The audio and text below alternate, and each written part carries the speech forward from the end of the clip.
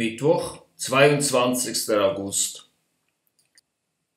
Nach einer Nacht mit spezieller Schlafmethode. Mit dem Rücken angelenkt an die Seitenwand, die Beine angezogen und die Decke bis zum Hals hochgezogen. Auf diese Weise war das Rollen des Schiffes auszuhalten. Das Meer ist viel ruhiger geworden und das Schiff neigt sich nur noch leicht nach beiden Seiten.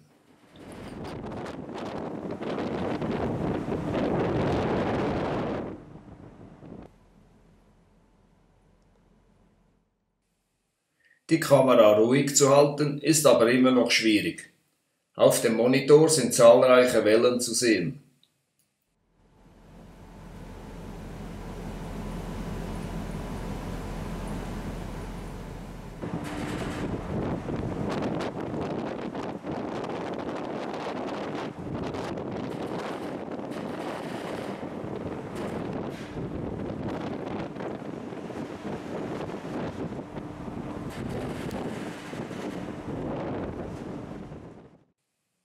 Wir fahren jetzt im Ostatlantik Richtung Iberische Halbinsel.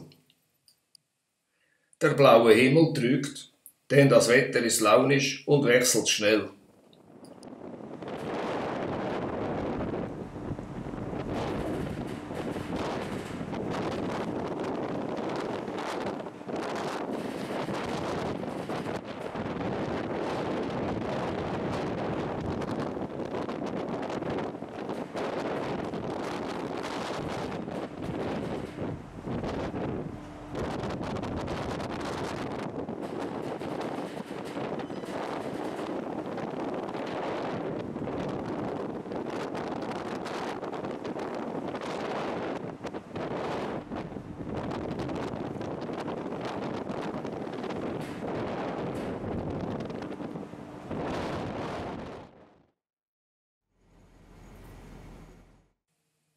Wieder werden sie angezeigt.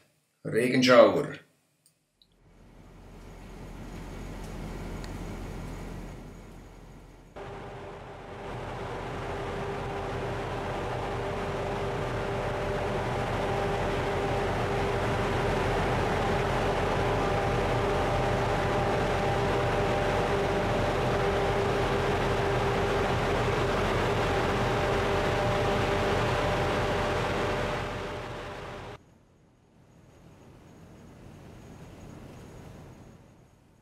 Und plötzlich sind sie wieder da, die Wellenbuckel.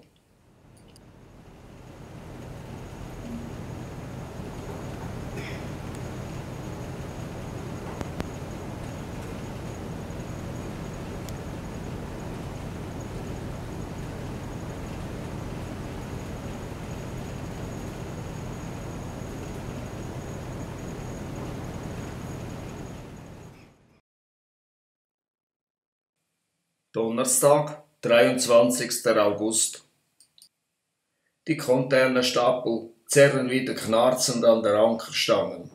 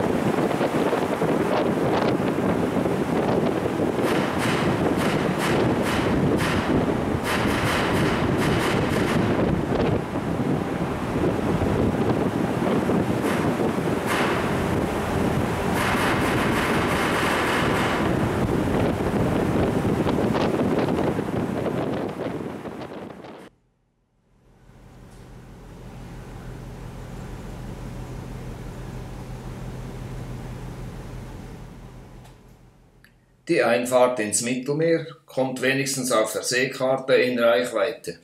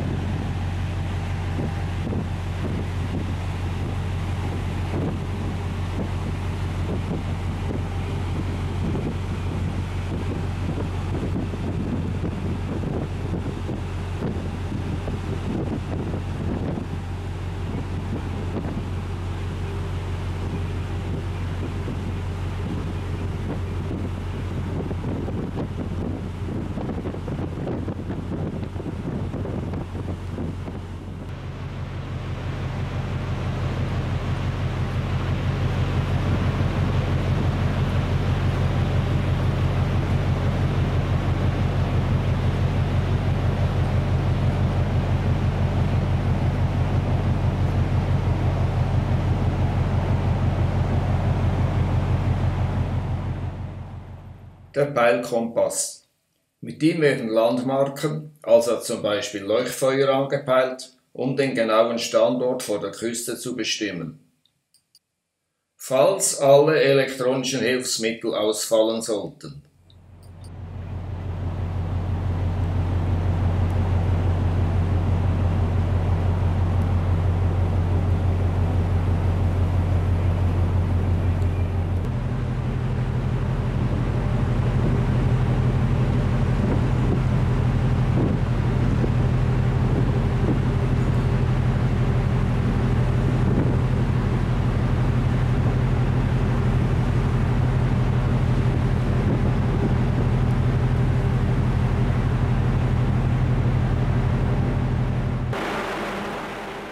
Es ist wieder einmal Zeit, um die Decks zu waschen.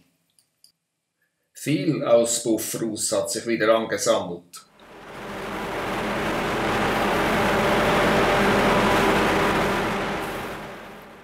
Mit einem Wasserschieber wird die dunkle Brühe durch ein kleines Loch gedrückt.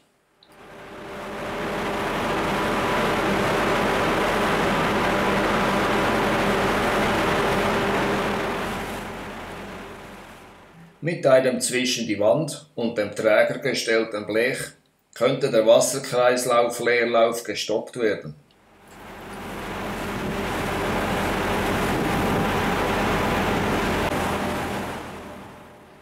Immerhin findet wenigstens ein Teil davon den Weg zum Ablaufrohr.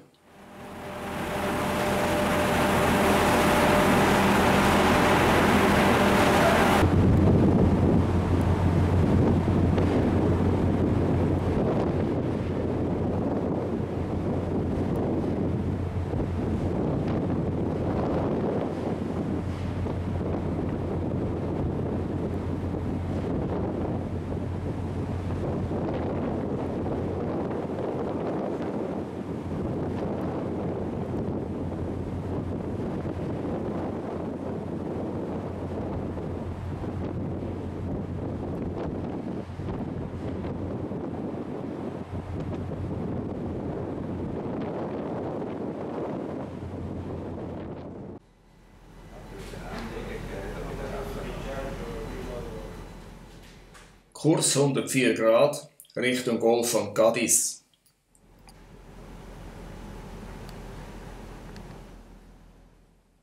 Im Kartenraum bei der Lampe befindet sich ein Monitor, der mir bald gute Dienste leistet.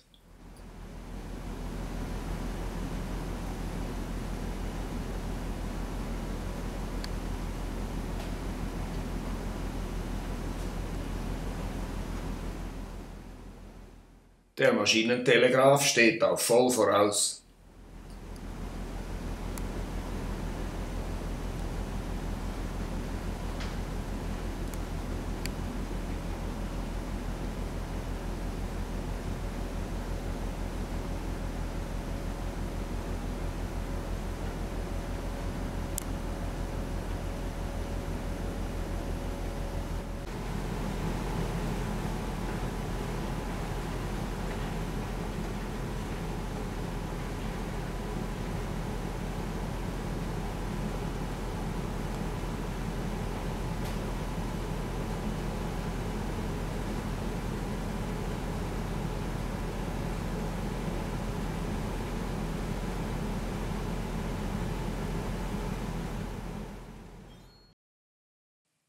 Zwischenfrage.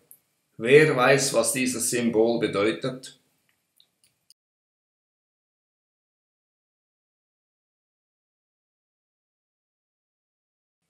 Jawohl, Abschlussventil. Hier mit großem Flansch links und Verschlussdeckel für den Feuerwehrschlauch.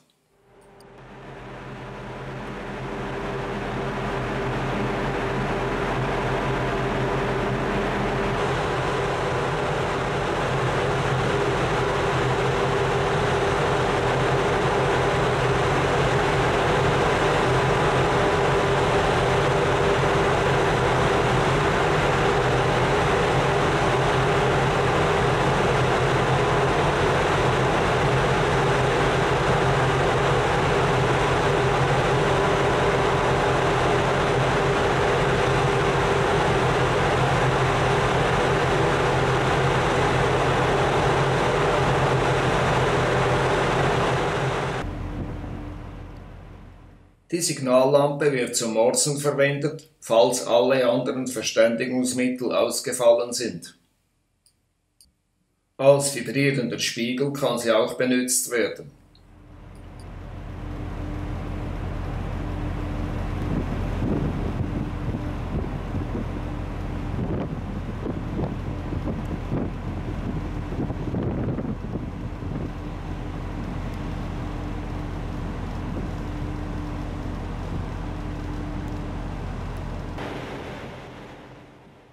Der Tag geht zu Ende und der Mond übernimmt die Beleuchtung.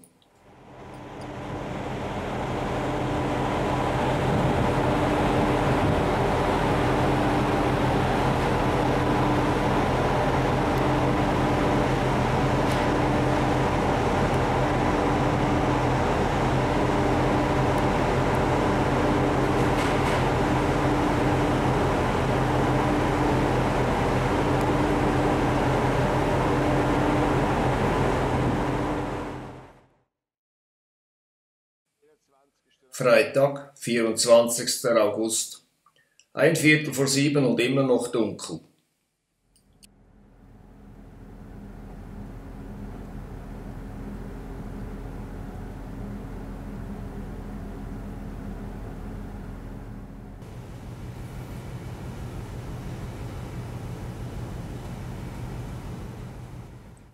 Bald befinden wir uns südlich von Cap San Vicente.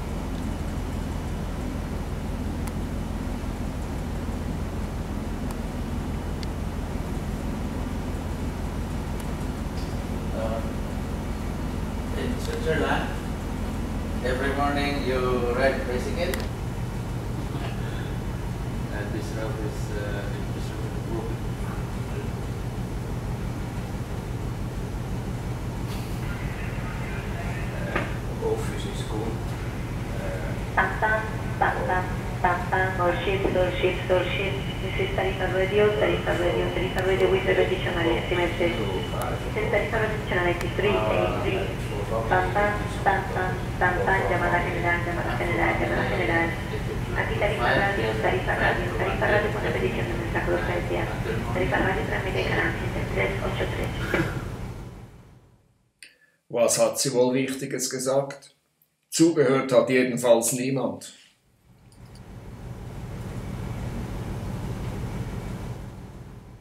Voraussichtlich gegen Mitternacht werden wir den Lotsen von Algeciras an Bord nehmen.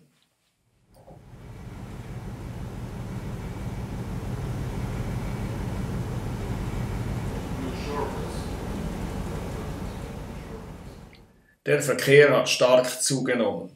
Jedes Dreieck zeigt ein Schiff.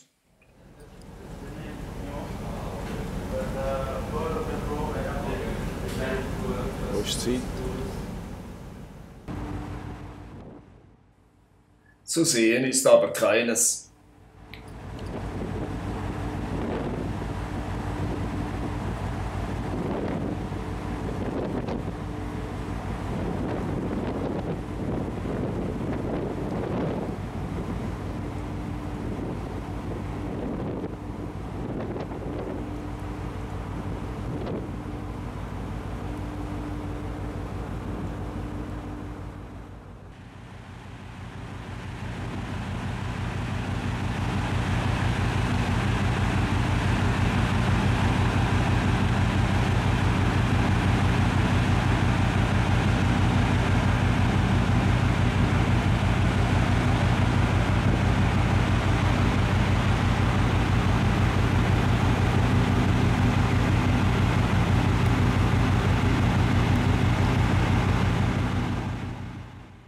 In Gedanken versunken.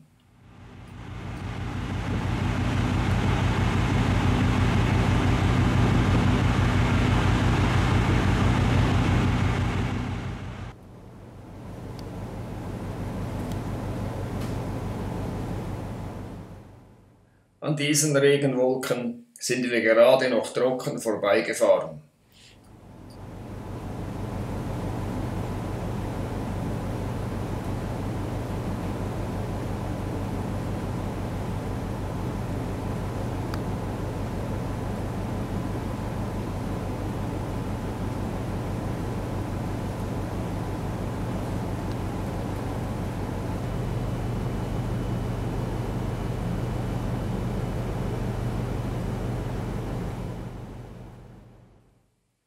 Im Golf von Gadis.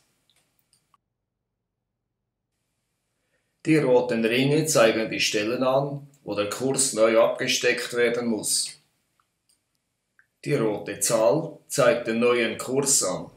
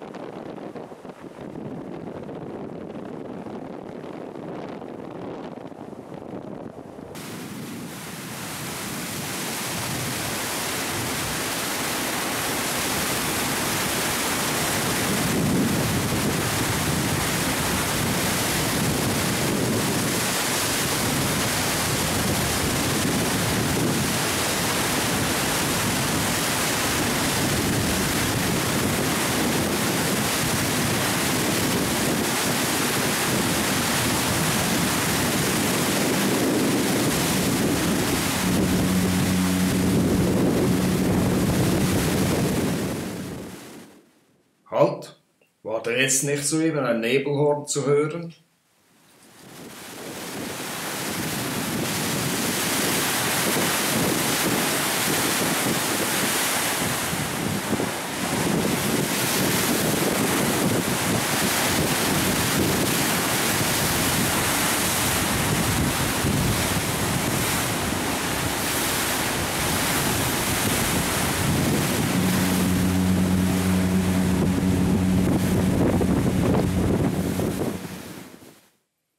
Tatsächlich.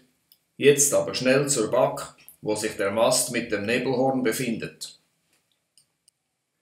Alle zwei Minuten brüllt das Horn, das sich vorne rechts auf dem Podest befindet, seine Message aufs Meer hinaus.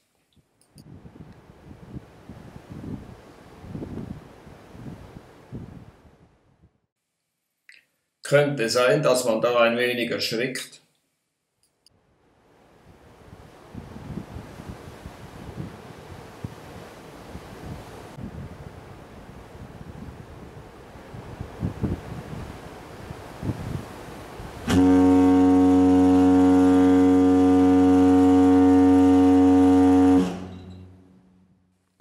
Oha, da konnte die Kamera nicht ruhig gehalten werden.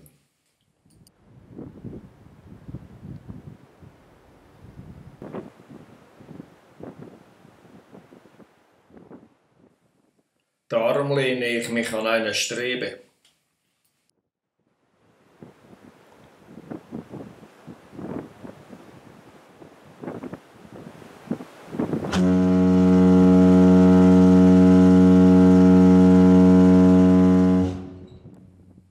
Schon eindrücklich, dieser Ton.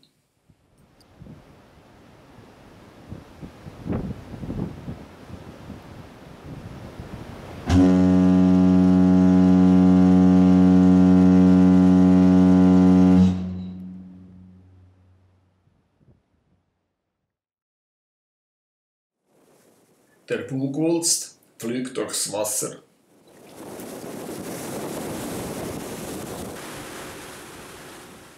Und die Schiffsschraube mit 9,71 Meter Durchmesser wühlt die Hecksee auf.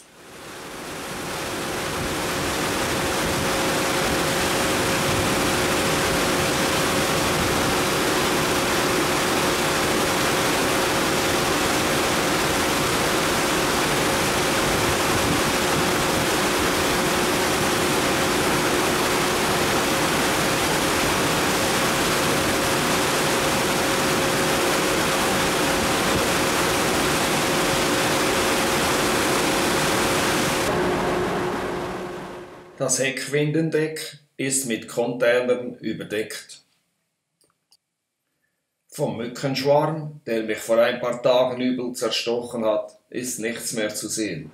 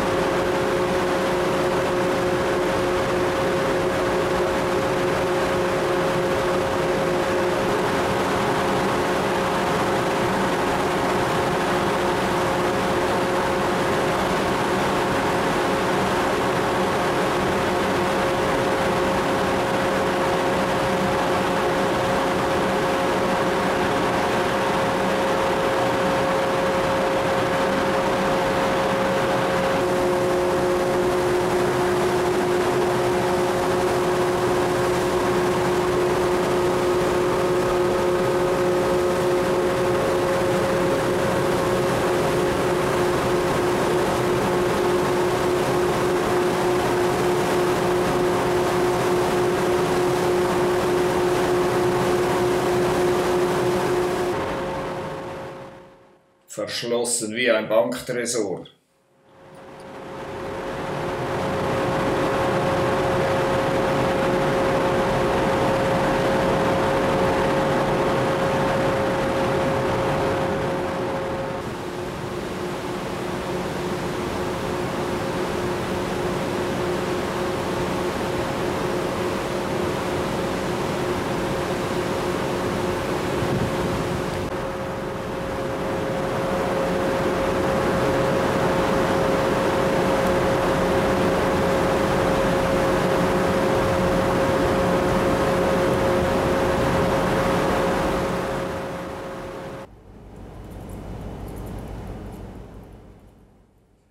Einige Meilen vor uns befindet sich ein Schiff auf unserem Kurs.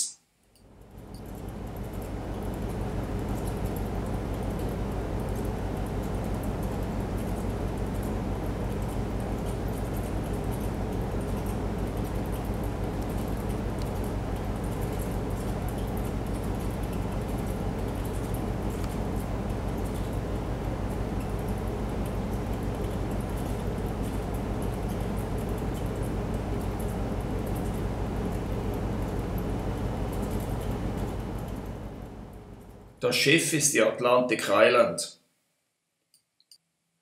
Über das Rufsignal 3EGG8 kann es angerufen werden, um Absprachen über eventuelle Ausweichmanöver zu treffen.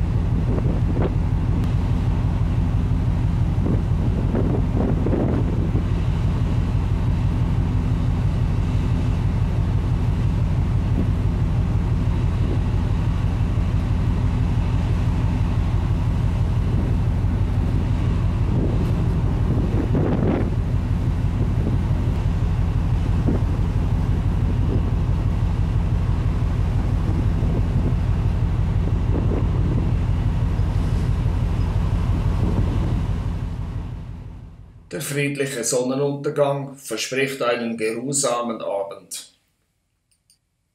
Es dauert aber nicht mehr lange, dann beginnen aufregende Stunden.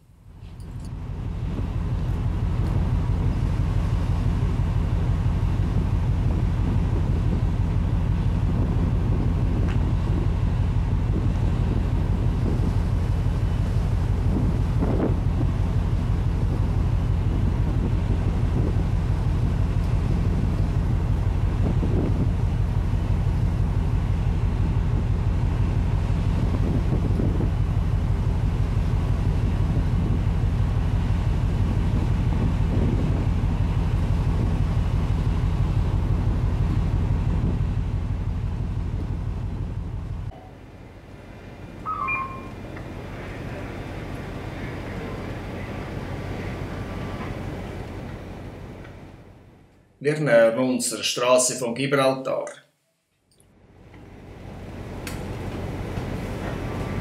Maybe one video with, with Capitan.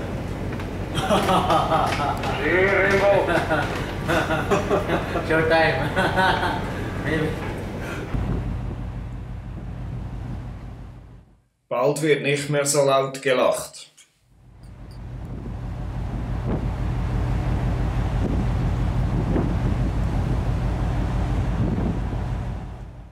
Dort drüben ist die Küste von Marokko zu sehen.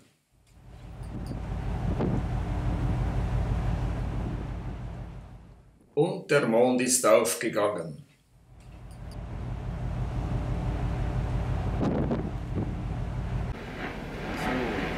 Tangermet,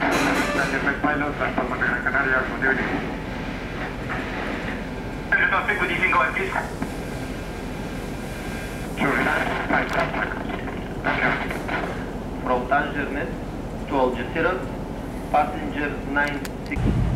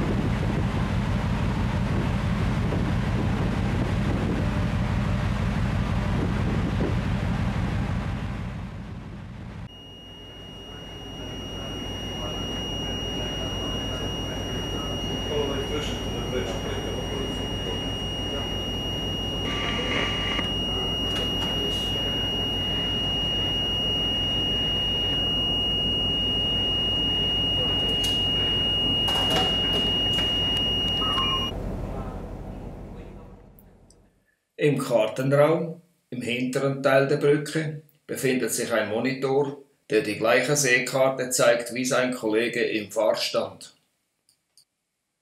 Weil dieser Apparat im Moment nicht benutzt wird, kann ich hier ungestört filmen, denn ich stehe niemandem im Weg herum.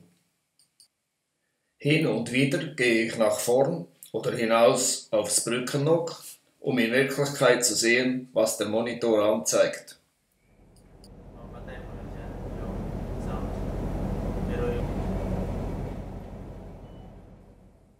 Wir sind ungefähr auf Kurs, obwohl wir nicht genau beim roten Kreis auf Kurs 68 gegangen sind. Die rote punktierte Linie werden wir aber leicht erreichen.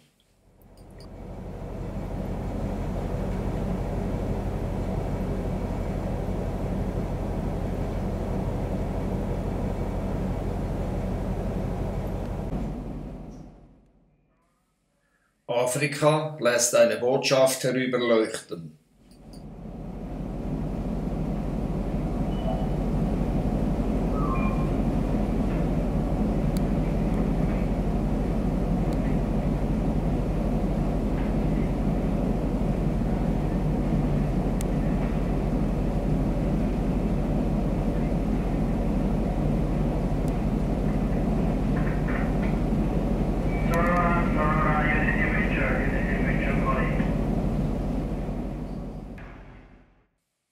Diese Lichter gehören zu einem Frachtschiff. Links ist das vordere, rechts das hintere, mindestens 4,50 Meter höhere Toplicht zu sehen. Die Lichterreihe ist die Deckbeleuchtung. Das rote Licht ist die Backbordlaterne. Dieses Schiff wird uns noch beschäftigen. Es kommt immer näher zu uns. Mit einer Linkskurve dreht es in unsere Richtung. Das rote Licht wandert nach rechts, die Toplichter stehen senkrecht übereinander und links erscheint das Steuerbordlicht. Diese Lichterführung haben 1956 die Leute auf der Brücke gesehen, als die Stockholm die Andrea Doria rammte und versenkte. Der Kapitän ist neben mich getreten und knurrt. Sehr gefährliche Navigation. Es dreht weiter nach links und fährt hinter unserem Heck vorbei.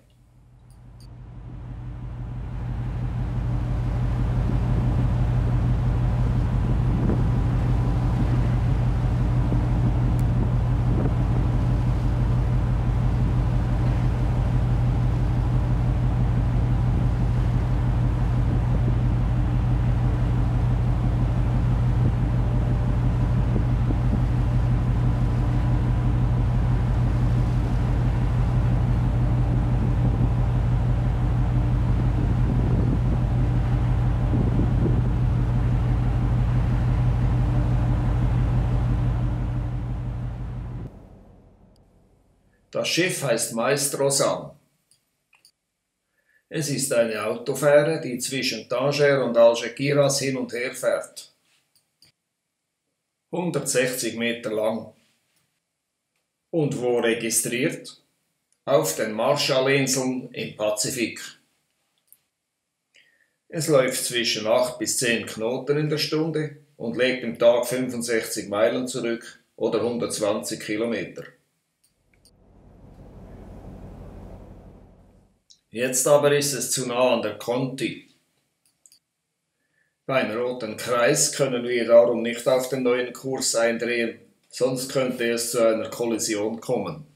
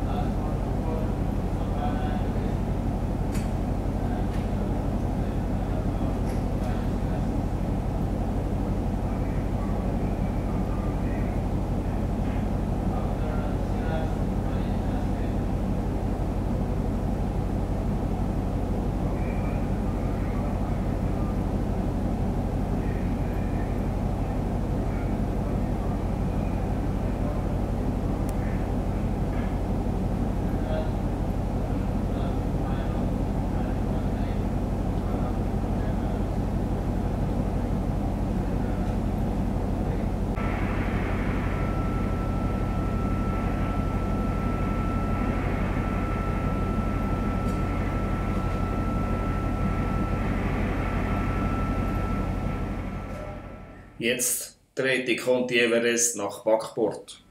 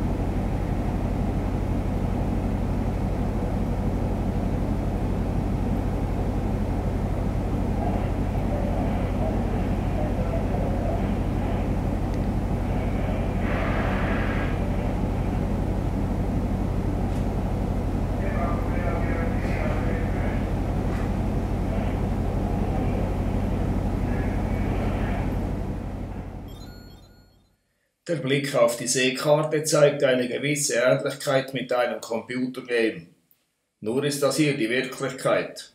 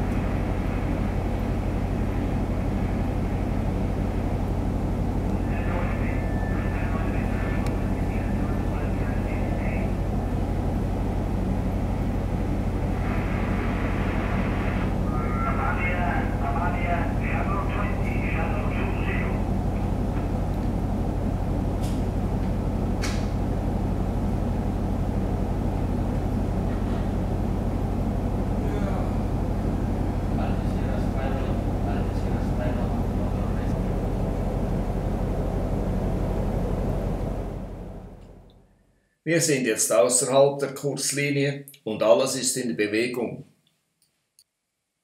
Es ist direkt ein Wunder, dass bei einem solchen Durcheinander nichts passiert.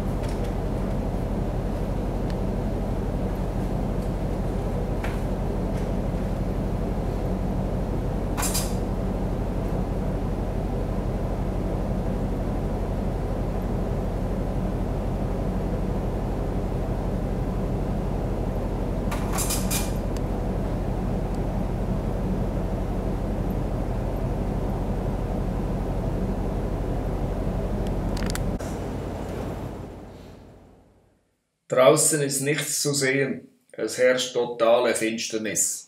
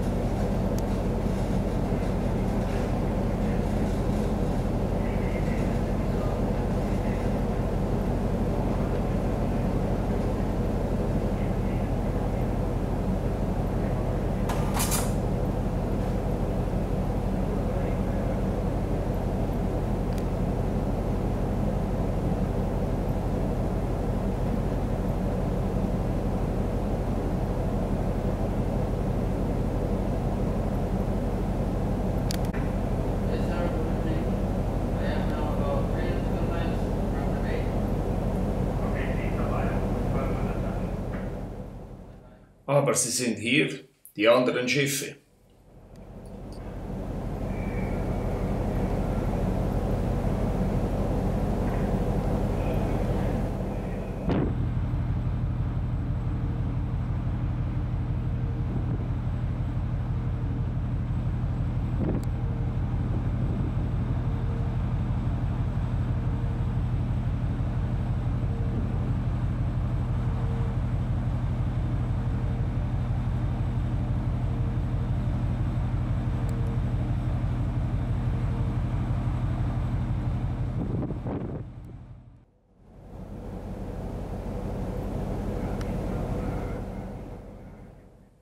Die Dreiecke sind natürlich im Verhältnis viel zu groß gezeichnet. In Wirklichkeit ist hier viel mehr Platz.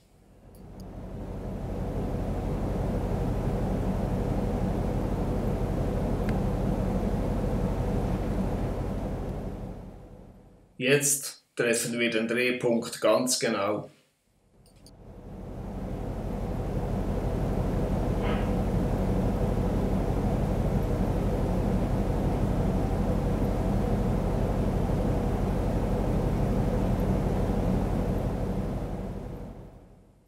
Der halb verdeckte rote Kreis ganz links markiert den Liegeplatz der Conti.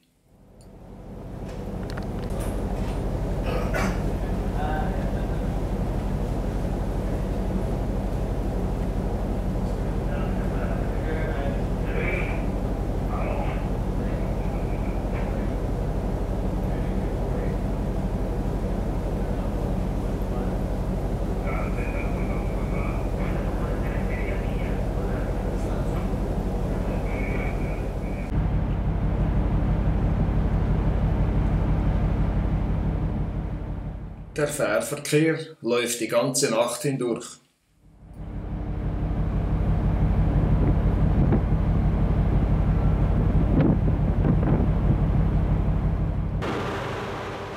Lichter von Gibraltar und Algeciras.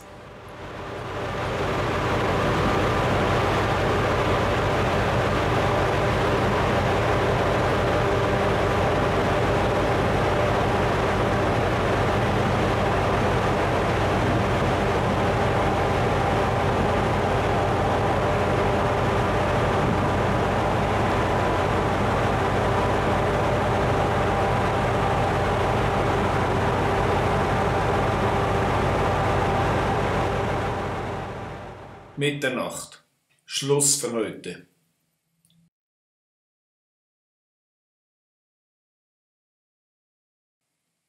Samstag, 25. August. Heute reicht's für einen kurzen Besuch in Algeciras. Um 12 Uhr müssen wir wieder an Bord sein, denn um 14 Uhr wird abgefahren.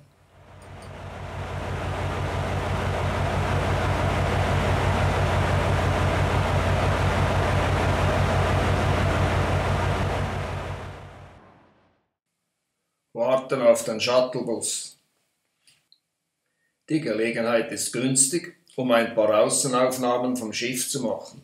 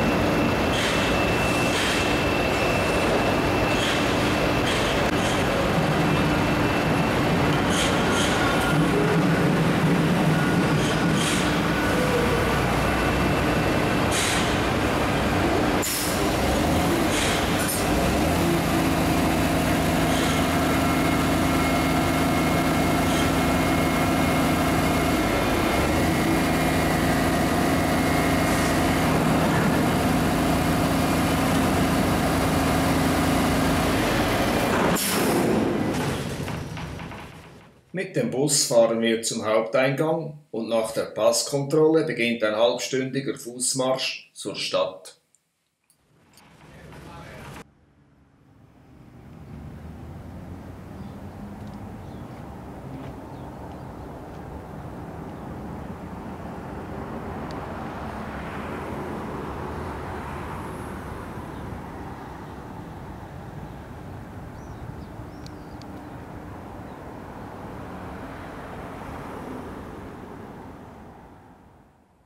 Spanien. Es kommen so etwas wie heimatliche Gefühle auf. Es reicht gerade für einen kurzen Rundgang durch die Altstadt und ein feines Bierchen in einem Straßenrestaurant, dann machen wir uns auf den Rückweg zum Schiff.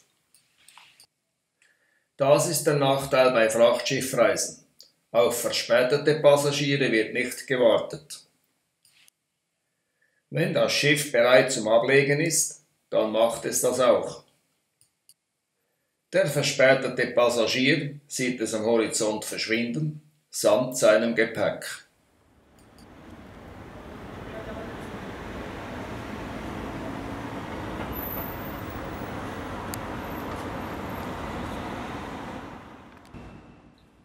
Pünktlich um 12 Uhr sind wir wieder beim Schiff.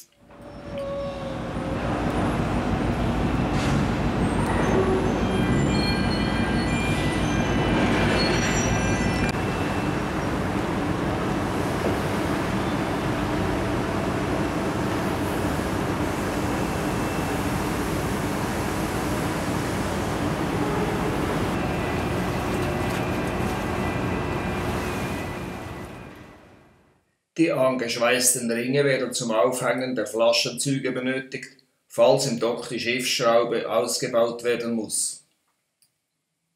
Die Schraube mit einem Durchmesser von 9,70 Meter wiegt ungefähr 120 Tonnen. Am Ruderblatt lesen wir ca. 9 Meter Tiefgang ab. Schrammen und Farbschäden die im Salzwasser sofort zu Rostfraß führen, haben die Schlepper mit Stoßen und Drücken beigefügt.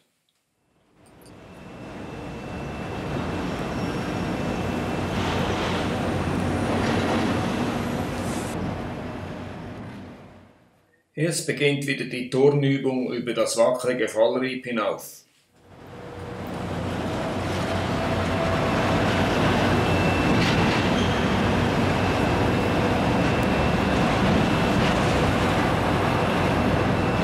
Ja, jetzt ist gut, jetzt ist es Abend.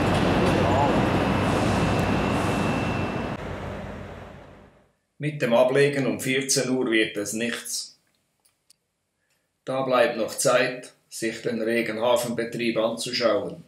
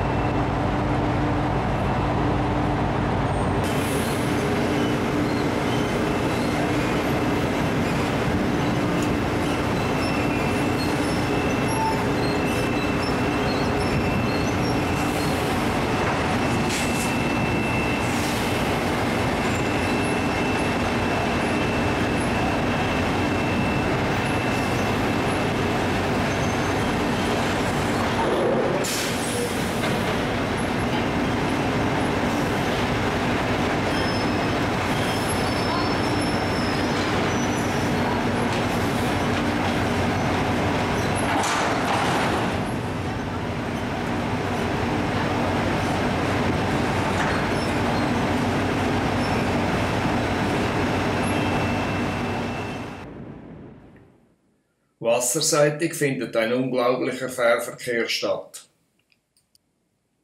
Da wird es klar, warum gestern auf der Seekarte die Dreiecke durcheinander wuselten.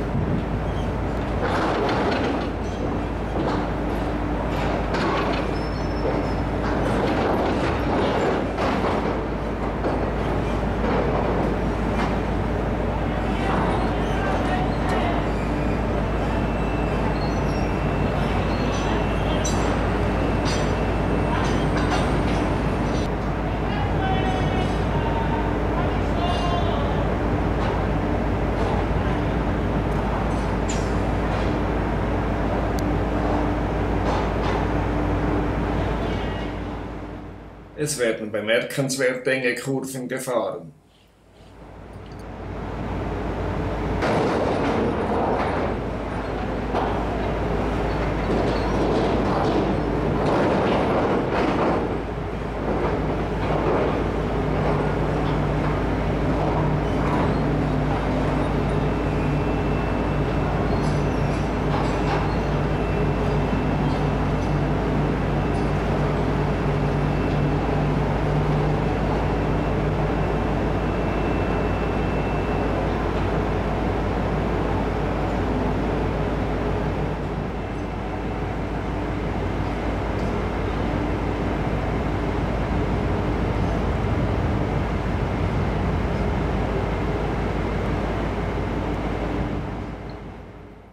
Die Galaxie wurde 1978 gebaut, ist 127 Meter lang und kann 900 Passagiere und 280 Fahrzeuge aufnehmen.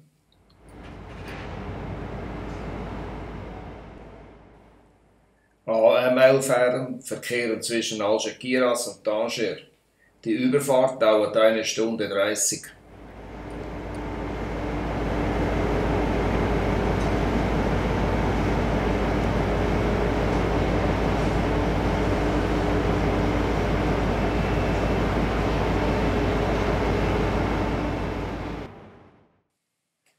Die Las Palmas de Gran Canaria aus dem Jahre 1993 ist 116 Meter lang, kann 800 Passagiere und 260 Fahrzeuge mitnehmen. Trotz ihres Namens fährt sie nicht nach den Kanaren, denn diese Verbindung beginnt in Cadiz.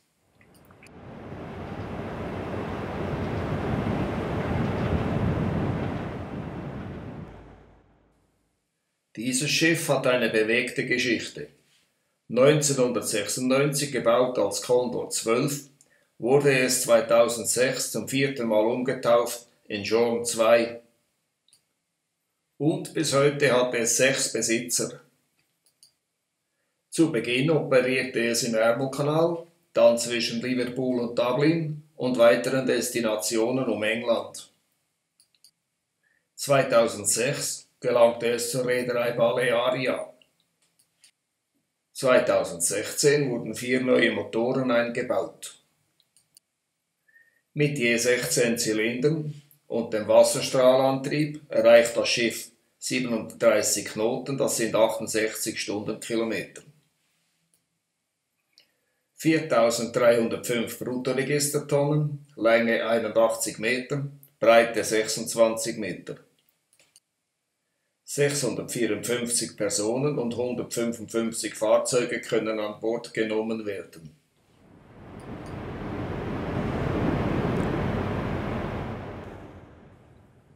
Es erscheint die Avenard DOS, während die Jean 2 gerade die Kollegin von FRS Express kreuzt.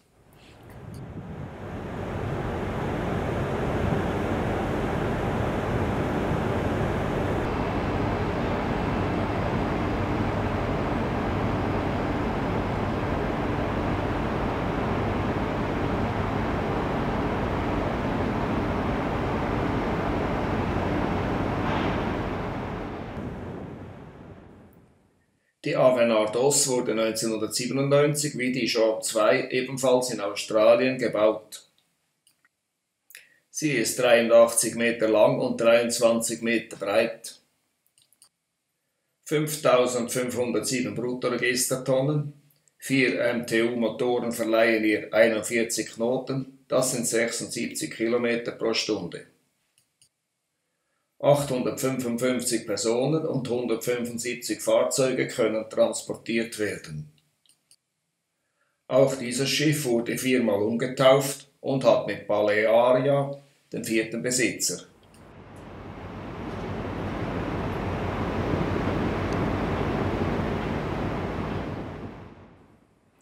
Es verkehrt auf der Route Algeciras-Ceuta.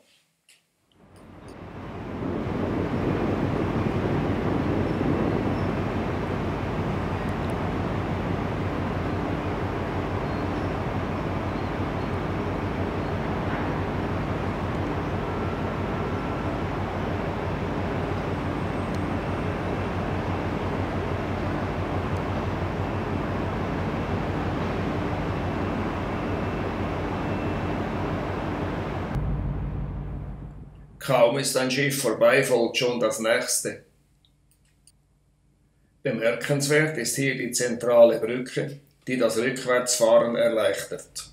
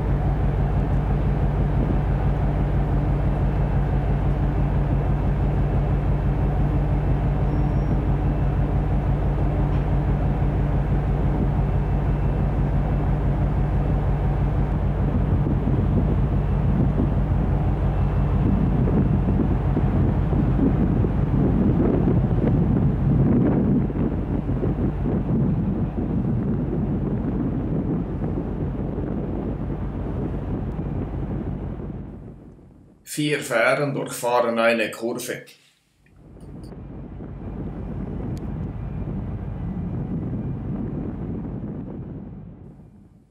Bei ungefähr acht bis zwölf Hin- und Rückfahrten pro Tag haben die Schiffsführungen Erfahrung, wie man enge Kurven im Gegenverkehr befährt.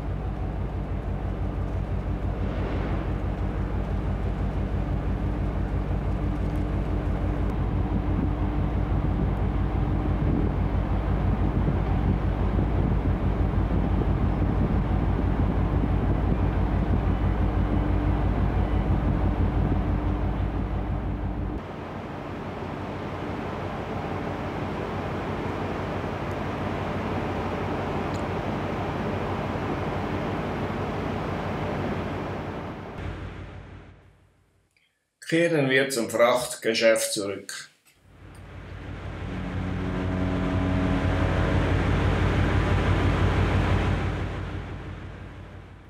Container aus den Kanaren werden angeliefert.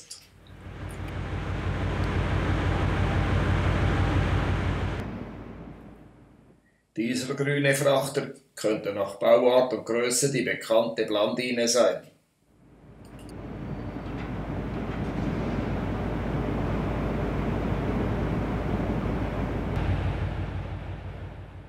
Die Baltic Dirty der englischen Reederei Orient liefert Öl an.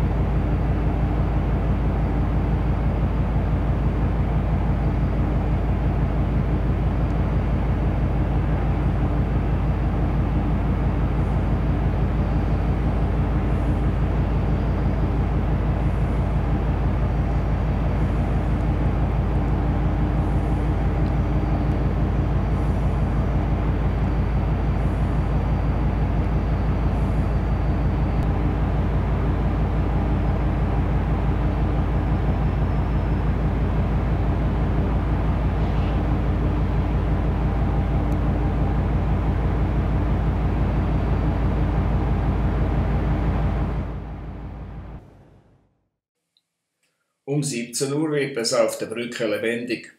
Der Lotse ist da und wir legen ab.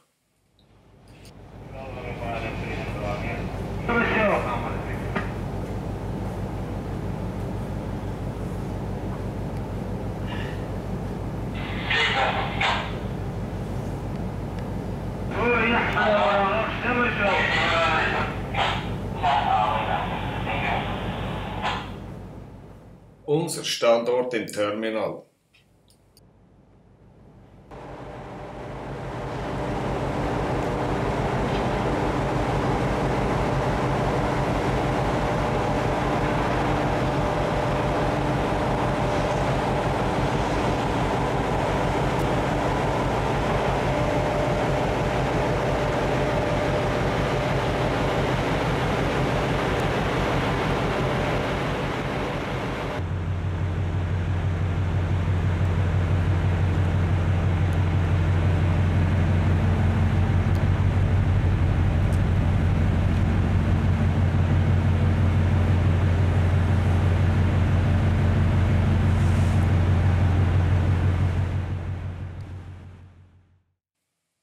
Schaumschläger Conti Everest.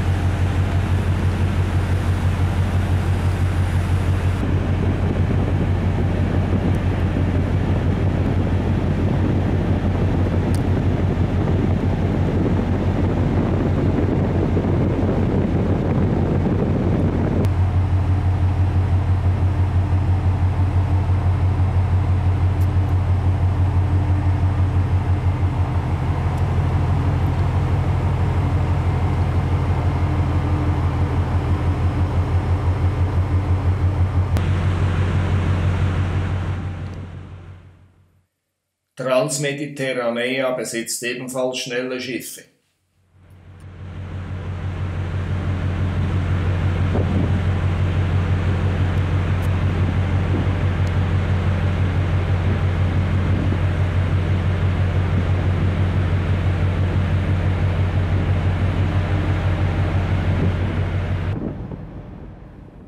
Der Wasserstrahlantrieb hinterlässt eine lange, luftige Hexe.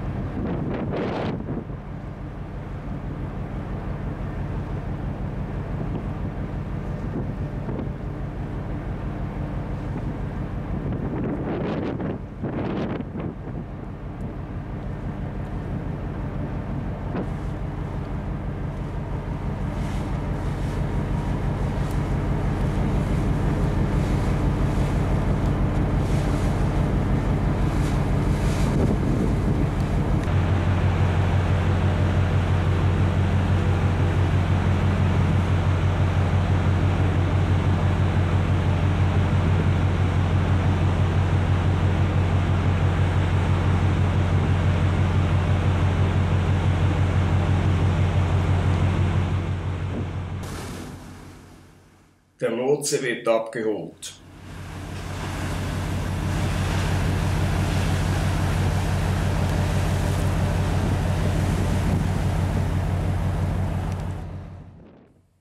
Und zum nächsten Kunden gebracht.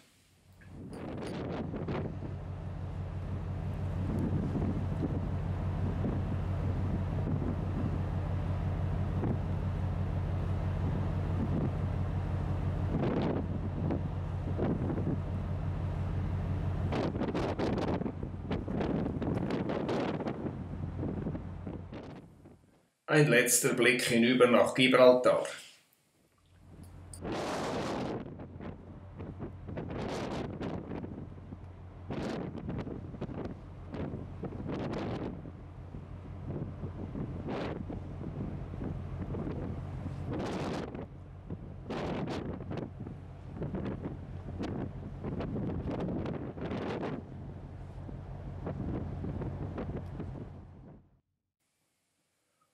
Hamburg Süd unseren Platz im Terminal einnimmt?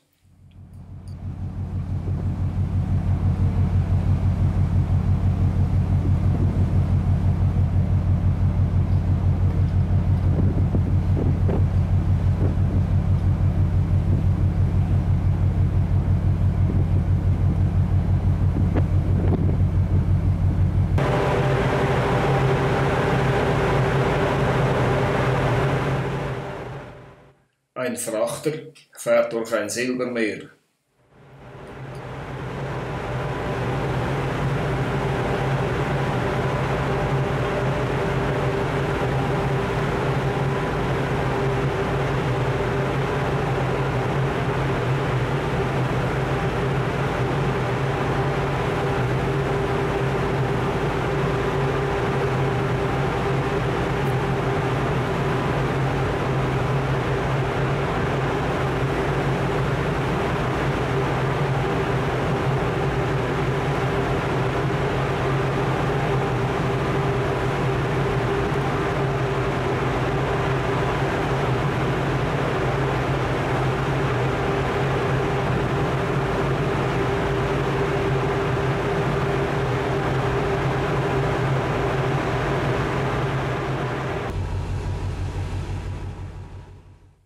Wir fahren ins Mittelmeer und über den Golf von Cadiz geht die Sonne unter.